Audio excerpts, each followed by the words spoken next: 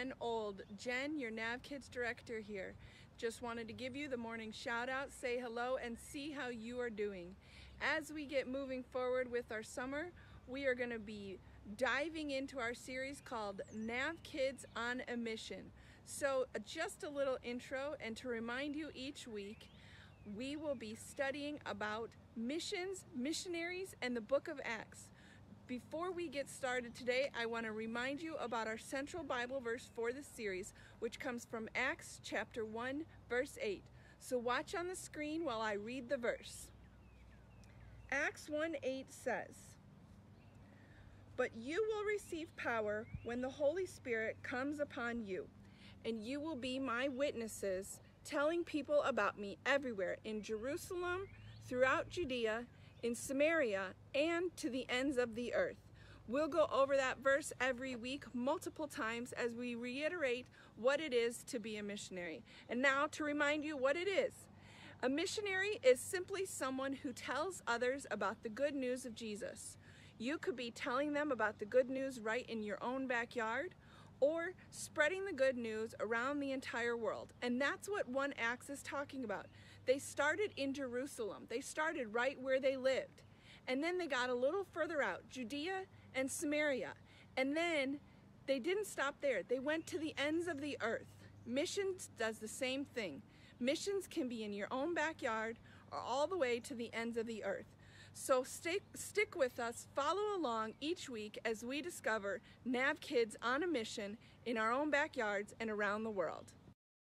Good morning, NAV kids. I am back with you again with another exciting missionary tale, and this time we're coming to you from Vienna, Austria. And with us this morning, I have Caleb and Britney Dossett.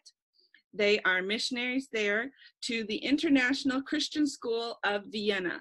So we are going to talk with them this morning about what it's like to be teachers and missionaries all at the same time and as you can see, they have one of their kids with them this morning. and we're going to even maybe explore what it's like to be a missionary kid. So, as we get started, I want you guys to tune in, tune your ears here, and get your hearts ready to listen and learn more about what it's like to be a missionary and just what it is to go. As Acts 1 8 says, our theme verse, we go all the way to the ends of the earth. And Vienna, Austria for us would be nearly the end of the earth. It's far away. All right, so Britney and Caleb, let's get right into it. The first question I have for you this morning is What does missions mean to you and the people you work with at the school? So, our school is a place where about 60 different countries are represented by the students. So that means we have kids from Nigeria, kids from Kenya, then kids from Saudi Arabia, Korea, Japan. So there's students from all over the place. And first of all, that's really exciting because whenever we talk about Jesus, we can share the story of Jesus in these kids' lives. And then hopefully, uh, as they grow and change, they can go back to their home country or go to other countries and share that story. And something else that makes our school kind of unique and a little bit different than other places I've been before is that a lot of the students are not Christians and they come from homes that are not Christian homes. And so all the teachers are Christians and a good chunk of students are too. But if you're thinking in terms of percent, maybe only 30% are Christians and the rest of them are still still kind of growing and waiting to hear that story and waiting to be changed. And that's what's really exciting for us is whenever we can tell those kids about Jesus or just show who Jesus is through our lives and our actions. I think that's really amazing. You know, you get to be there and be in that moment when some of these kids may hear about Jesus for the very first time.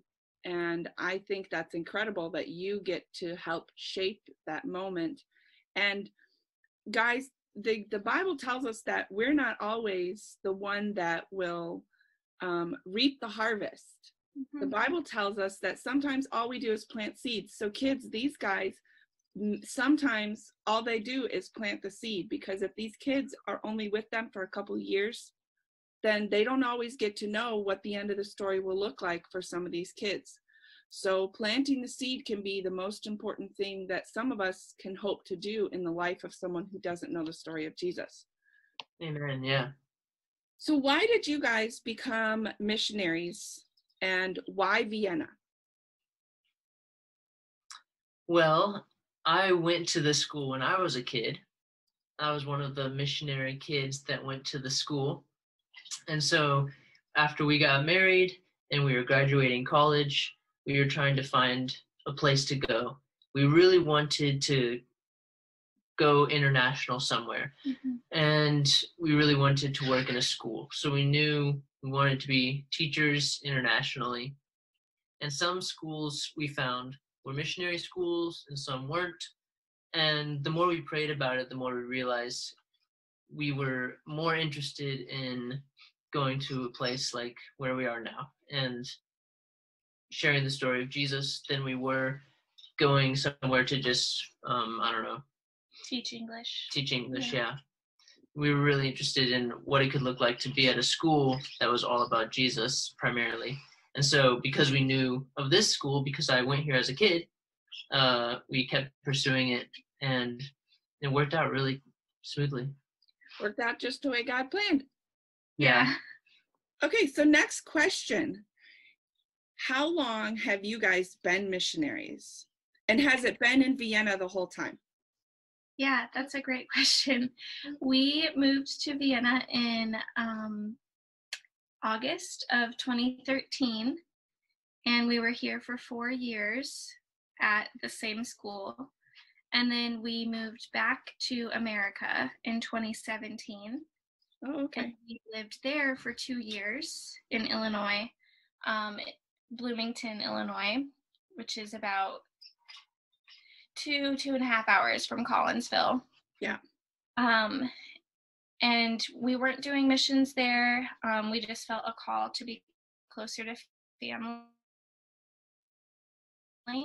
Um, but that also just really made our hearts realize that this is what God had for us and what we wanted to do long term. So then in tw- what is the year 2019 we moved back to vienna so we've been okay. back here now for one full year so we just finished our fifth year but those were separated by yeah. our two years in the state and so kids uh, britney actually has some ties to navigation so before it was Navigation Church, it was Sun Life, for those of you that don't know.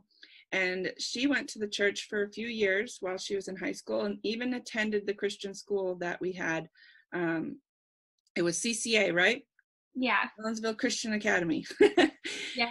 And so she actually knows um, some of the folks at church. Do you know Pastor Aaron? Yeah.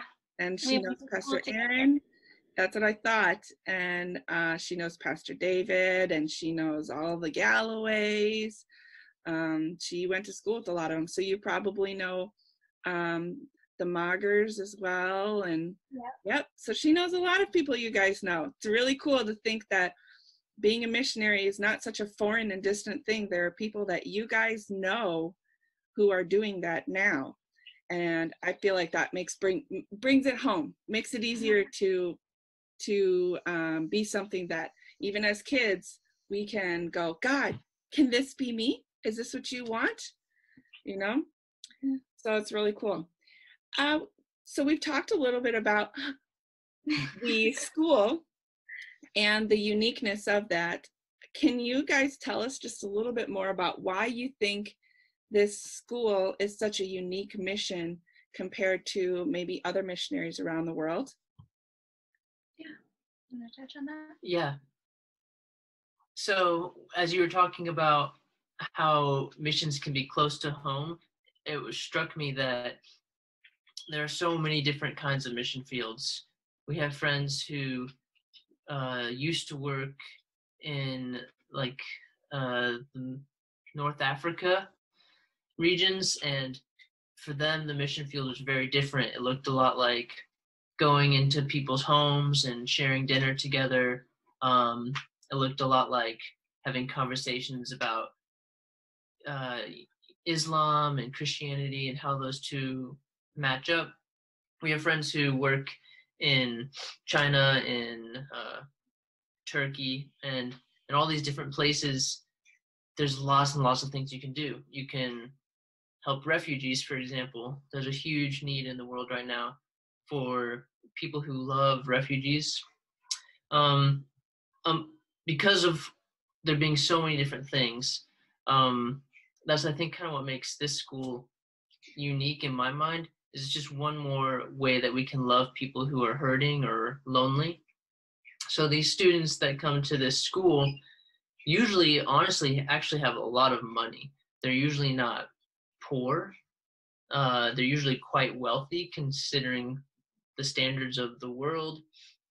And uh, you guys probably know this, but sometimes being really rich or being comfortable even isn't really the answer. It's not really going to bring you happiness. And so what we find is our mission field here has a lot to do with working with people who think they have everything but they also have a deep sense of yeah something missing mm-hmm. right you know what strikes me what what you're saying is what i'm hearing is like these kids can be rich in so many areas and rich in so many things but they are what the bible would consider poor in spirit mm-hmm. yeah. you know so they're rich in every other area except for their heart mm-hmm. and the Bible teaches us that the only place that matters where we're rich is our heart.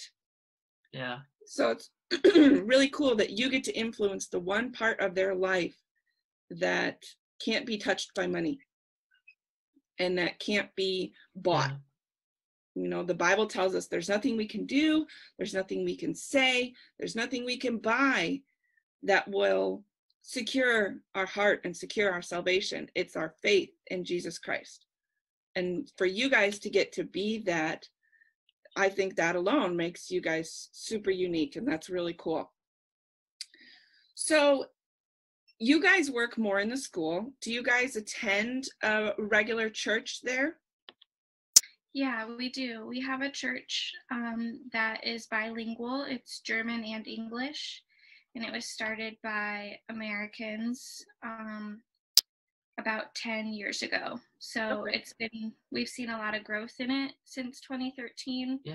It's a very international church, um, people from all over. So the sermons are typically preached in English and translated to German, like as they speak. Okay. Um, yeah. So what is what is the kids ministry like there? Do your kids go to kids ministry or do they sit with you in church? Yeah, our kids go to um, a class. They're with us for um, part of the scripture reading and for the song part of worship. And then they go to a class together that's age three to six. So right now they're together. Um, and that is also taught in English and German. So, so your kids will be fully bilingual. Hopefully, that's the hope. they need to teach me. do do the kids there does their children's church look similar to like Americans? Do they do an activity and then a lesson or you said they do worship with the parents first. Yeah. So in our church we do um, we do our own worship and, and, the kids do it separate. So what kinds of activities do they um, do there? Yeah, they use um, the Jesus Storybook Bible. Um, so that's for sure similar to America, and but they do not do music. Um, I don't know if that's something eventually. Right now, our church is working on purchasing a larger location. Okay. Um, so right now they just they wouldn't have the space for that. Mm-hmm. Um, but yeah, typically Ollie, in your because of COVID, we haven't been to church since February. So, Ollie, what's your church like when you go into a class? Do you do like a craft sometimes? Do you read the Bible in German and English? Can you tell her a little bit about it? For fun. We do it sometimes for fun in German, but usually we do it in English. Sometimes in German for fun. Yeah, but usually in English. Yeah. And do you do like a craft or an activity? We do craft all the time. all the time. Okay. So just And like here in America. Yeah. I can't remember if this is our church here or our church in the States, but don't you often have an idea that you No, leave service that's, with? That's America. Oh, okay. Good job. Okay. So let's get back to the school that you teach at a little bit. Can you tell us what it is that typically brings families to this school?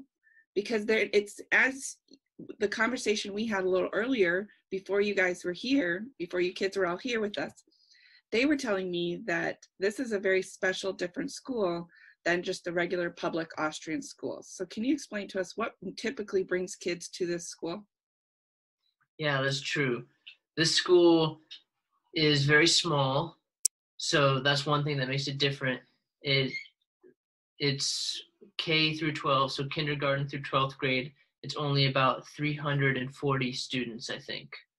So it's pretty small, and what that means is that there's only a very specific kind of student that comes usually, and those students are usually kids who are the children of business people or diplomats or people associated with the UN, which is the United Nations, which has a big uh, headquarters here in Vienna. So those kids are usually the kinds of kids who come, but we do have we do have a lot of missionary kids and Austrian kids too. But one unique thing about them that we were talking about was that they don't often stay for very long. So they'll come for maybe two years and then move to a different country, or they'll come for maybe five years and then move to a different country. Um, it becomes sort of a I don't know what the right word is, sort of a celebration at graduation if there's even one student who's been there. for several years. Yeah, there's Yeah. And always sort of a are party. they're probably Austrian, huh? Yeah, right. They're probably the Austrian kid or the missionary Or kid. Or they're a staff kid. yeah, Yeah. staff Yeah. kid. so I want to uh, really quick circle back to a word you said, uh, diplomat. So this is one of those words that you would hear often, maybe as a missionary, but in everyday life here in America, kids, I wonder if you even know what that word means. So Yeah. on the bottom of the screen, we're going to put the definition for the word diplomat, but I want to explain it just a little bit. Basically, it just means that um, you are somebody who works in politics. You are a, you could be an elected official or you may not be, but basically you are in politics, but you live in another country representing your country. So, but you guys can see the definition there and rewind it if you need to to understand that a little bit more or ask mom and dad. okay, let's get to the fun portion of this interview. What is the craziest thing you have eaten there in Austria since you've been there? well, Um, the- you may have more stories, Caleb, from when you were a kid too. Yeah. yeah, that's true. I couldn't think of anything crazy. Did, did you eat a fish one time? We've eaten fish, Yeah. yeah. but something weird that you can get here that we have not chosen to eat is you can get horse meat. Right? That's popular. Yeah. we, But we've we learned that our missionaries in Haiti quite often that's what's on the table, and it's mostly there because there's no other choice. yeah. Oh, wow. Yeah. One of the strange things that they like to eat here is they like to eat something that's called Leberkäse. Mm. And I- I've had that before. It's not something I would recommend. It's it's kind of like spam mixed with melted cheese and then cooled and then reheated. My faces I'm making. So you guys know what Provel cheese is from Yeah. Pizza. Me and my husband Josh are not fans of Provel cheese, and so while you're describing this spam-like meat, all I'm thinking of is Provel cheese. It's- yeah, it's not very good. they like a lot of um, sausages. They like Yeah. sausages a lot, which we like. They- Yeah, they have this. This isn't super weird. It's very good actually. They have something called a Käsekrainer, okay. which is a sausage that you can cut up or put in a bun, and inside there's cheese. kind of Oh, more I like a like that. pretty thick, like a bratwurst. Yeah. Oh man. I did some time, not some time. I did a missionary trip in Copenhagen. Or um well we went to Copenhagen, but we were in Denmark and um we got to enjoy some yummy frankfurters while we were there. That was nice. Yeah. Yeah.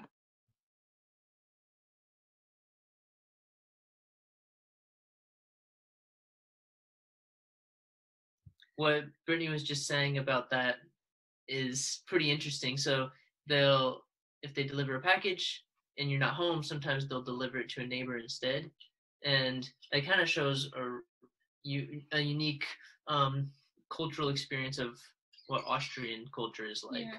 They're Yeah. very, very, very uh, Honest. polite and honest.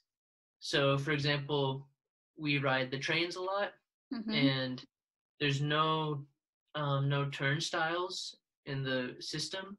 Oh People can wow. walk on and off the train no matter that nobody's checking. They can get on and off whenever they want. Eventually, someone might like surprise you. They might Okay. pop up on a train and say, "Hey, I'm checking tickets," and then you might get ticketed. But it's not a daily thing, and so that's a really unique kind of It's just ex- honor system. Yeah, expected that you have a ticket. You're not going to get on without a ticket. Wow. It just shows that here in America money speaks. Yeah. but that's that's a really cool experience. Um, a lot of our kids here, I don't know how many of you guys have ever ridden a train or a bus, but here in America, you cannot get on the bus, you cannot get on the train without first showing that you've paid for it. So Mhm. that that is very unique. That's really cool. Yeah. Can you guys tell us about the your favorite time in country? And Mm.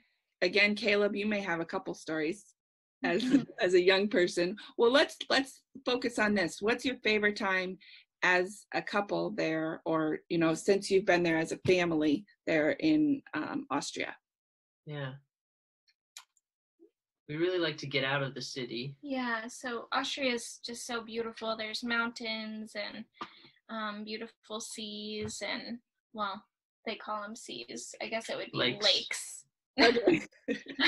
The word for lake is is see. Yeah, okay.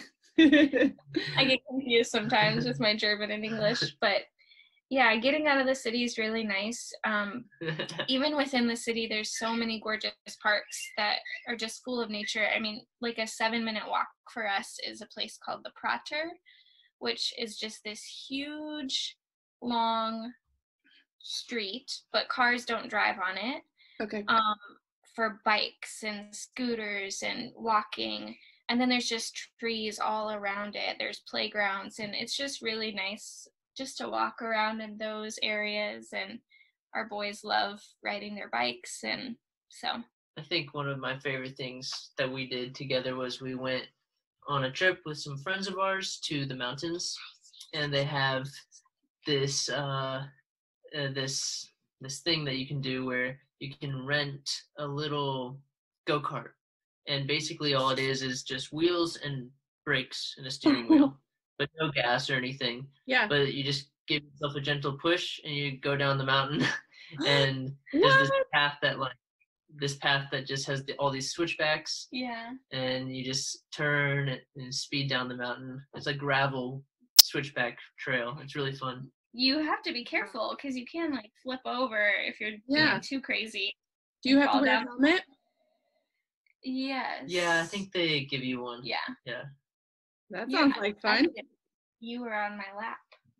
Oh wow! So they let you bring your. Yeah, you were little. You were only Um, two. Oh, you want to say something? I I like to, to I like when I ride my scooter, not my bike. Mhm. I like to do a ton of like twists oh, and jump! jumps, Yeah. bunny hops. Yeah. Oh, so you're big an, you're an adventurous too. Yeah. Kids here often ride like just little scooters. You use your foot, you Mm. know. Those are a big thing here for kids to, because you walk everywhere. So Yeah. for kids to get around the city, very common. Yeah, my daughter, when we lived in Chicago, would ride her scooter to the to the bus or to the train because then she didn't have to walk as far, and it was easier for me to carry a scooter on the train than it was a bike. Yeah. Yes. Yep, yep, we know all about that. How many hours does it take you? Well, first of all, what do you guys consider your home base here in America? Mm. Okay. Illinois, for sure. My family is in Granite City, um, and Caleb's family is in Bloomington, which are about two and a half hours away from each other. So Right, yeah. thankfully very close together. Um, but when we lived there for the two years, we were in Bloomington. Okay, so then if you're coming from Bloomington and you're trying to get back to Austria, how many hours and what is your mode of transportation to go from Bloomington to your front door there in your apartment building? Okay, so we would go from Bloomington, we would drive to Chicago O'Hare Airport, um, and then we would take a flight. We try now that we have kids to do direct, but it doesn't, doesn't always happen. And it is about, depending which way you're going because of wind Right. and stuff, but it's a nine to 10 hour flight if you do direct Okay, from Chicago to the Vienna airport. And then either someone, a friend that has a car, would pick us up, or we would take what they call a Schnellbahn, which is a fast train um, from the airport into the city, okay, which takes maybe 25 minutes um, from the airport to the city. So Okay. in total, it would take us uh, three hours to get to Chicago, 10 hour flight, another hour to our door. So and how far is the nearest um, Schnellbahn from you? The, the actually, where we live, yeah, where we live very close. We can um, get to one, we could walk in like 10 minutes to a train station. Now, do you, if you're coming back from the United States, I would venture you try and probably get somebody to pick you up because you probably have a lot of luggage, right? Now, Yeah. you, you were mentioning to me earlier that you try and pick up supplies when you're in the States. What does that look like when you come back here? What are you trying to get to bring back to Austria? And why do you need to get it in the US and not there in Austria? Yeah, there are quite mostly for me than you, but there are a couple things he likes. So I would get um, vanilla extract. I always stock up on that, or um, brown sugar. You can find brown sugar in an Asian market here, so that's nice to have that option. But I usually stock up. And then any kind of over-the-counter medicine like Tylenol or ibuprofen, they don't have that here um and then some things we stock up on for him are like pens that he likes to write with um pencils yeah school stuff usually Okay. yeah And you try and get those things in the United States because they're either not available there or more expensive there, right? yeah Okay. yeah so things are we use the euro here i don't know if we have any euro to show Oh, we can grab change to show one There's a shortage of change in the United States right now. I've heard that. So that's an interesting thing here that we can share. I know people in the States are kind of nervous about how they don't want you to use cash. Yeah. Um, here it's actually the opposite, and a lot of places will not take card. Oh, I have some of those. I have some euros. Yeah. Basically a dollar. A little more. But yeah, just a little more. So yeah, uh, here a lot of places, like if you go to a cafe, they won't take um, card. They want you to use cash only. So we typically have to have cash on us just because you never know if a place is going to take card. Yeah. So, kids, a little math and economics lesson for you. the reason why they want the European dollar, which is called the euro, to be um, used and physically used is because right now their money is what we call stronger than the US dollar.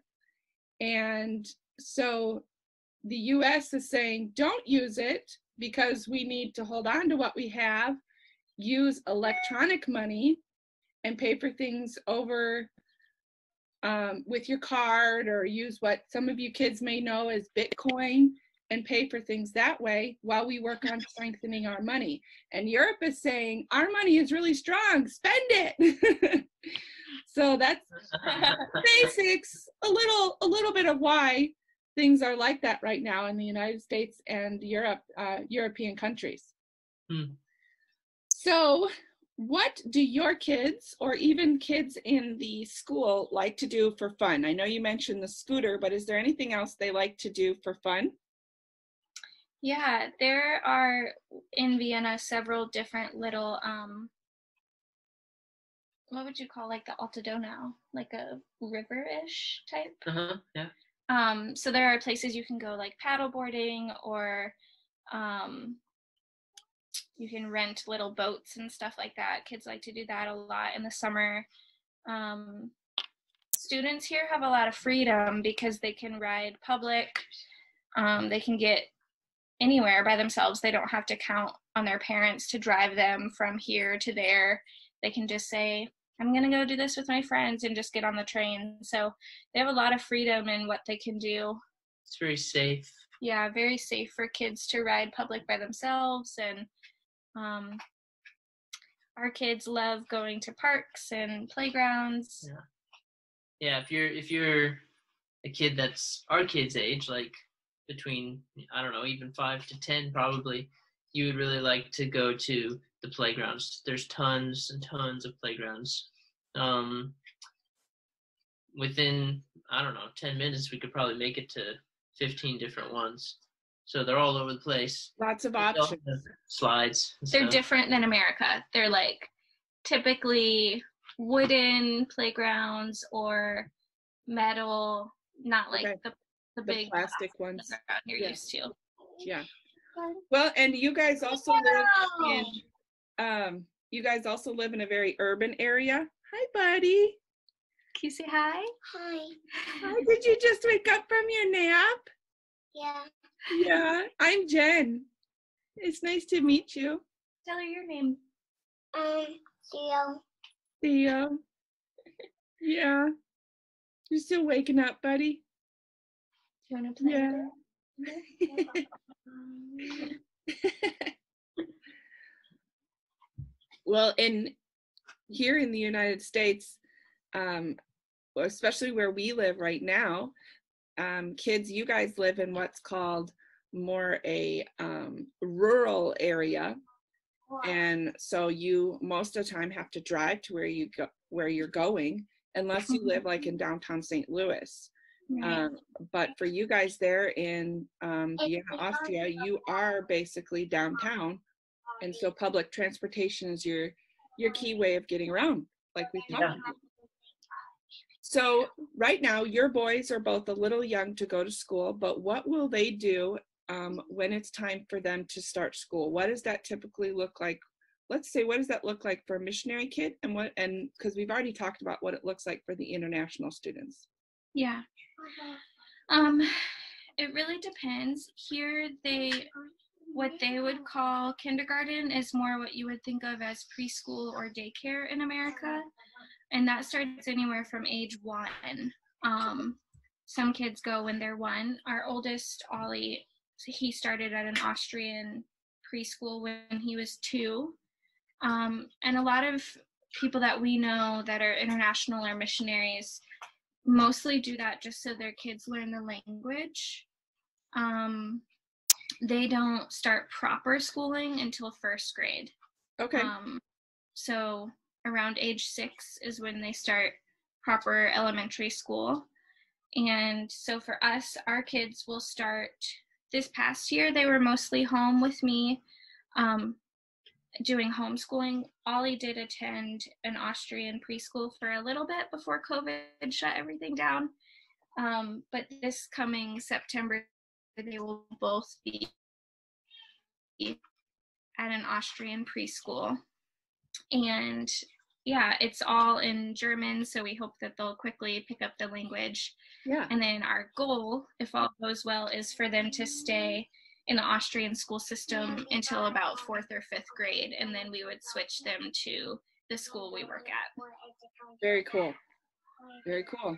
All right, guys. So the last question I have is a fun one, and um, I think it's interesting to learn these things. We'll pop it up on the bottom of the screen so you guys can see it. But my question for you is, is how do you say, hi, I love Jesus? And for you guys, it would be in German. Do you know how to say that or not? How do you say hi? Tell her how to say hi in German. Hallo. Hallo. I love. Do you know how to say I love Jesus? No. What's I love you? Ich. Ich, yeah. I don't know. That's Never. How you say? Do. Yeah, that's how you say I love you. So For Jesus, we would probably say, Ich liebe Jesus. wow. One more time, real slow for those of us over here in America. So, hallo, Hallo. ich, Ich. ja, liebe, Ibed. liebe Liebe. Okay. Jesus. Jesus. Okay. Ja, ja, hallo, ich liebe Jesus. Jesus. Okay. I tried to say it the Spanish way and say Jesus. Yeah. Okay. All right. Well, that's really cool. You know what, guys? That's all the time we have for our friends over in Austria today. So let's wave goodbye to them, and I will see you guys on the other end and pray you out. Well, you guys, that's the end of Nav Kids on a Mission. I had so much fun creating these videos for you guys and talking with missionaries around the world. I got to catch up with old friends and make a bunch of new ones. You guys, we're going to head into a little bit of a summer break and take a few weeks off, but we're not leaving you forever. We'll be back in the fall and we've got something for you in the meantime. So in the meantime, if you're looking for something to watch each Sunday, we have videos that are coming out on Mondays for our Nav Kids on a Mission VBS in a bag. It's okay if you didn't join us for VBS this year, you're still able to watch the videos. Just all you have to do is click on the Nav Kids YouTube page and there's a channel for On a Mission. You can also get there from the links in our link tree, which mom and dad can get to all this through the emails that are sent out on Sundays. Well, you guys, I hope you have a great week, and I'll be staying in touch and looking to meet with you guys again really soon. Just keep praying that God keeps working and that we get to start having Nav Kids in person sooner rather than later. You guys, how about I pray us out really quick? Why don't you bow your heads and close your eyes? Lord God, I come before you right now, and I just pray that as kids spend time with their families for the rest of the summer, going on vacation, playing outside, maybe even spending time with a couple friends or family, that you would be in the midst, Lord, that you would help them and, and to remember that being a part of Acts 1 simply means to go, and that going can be as simple as talking to their friend next door, Lord. Give them the boldness and the courage to spread your love wherever they go. We pray right now for your protection and your peace. And Lord, we pray that as we get ready to head into the school season, that you would give us all peace and confidence to know that whatever is decided, however school looks, that you are in the midst. We love you, Lord, and we praise you and we thank you. In your name we pray. Amen. All right, guys, have a great week. I'll talk to you soon.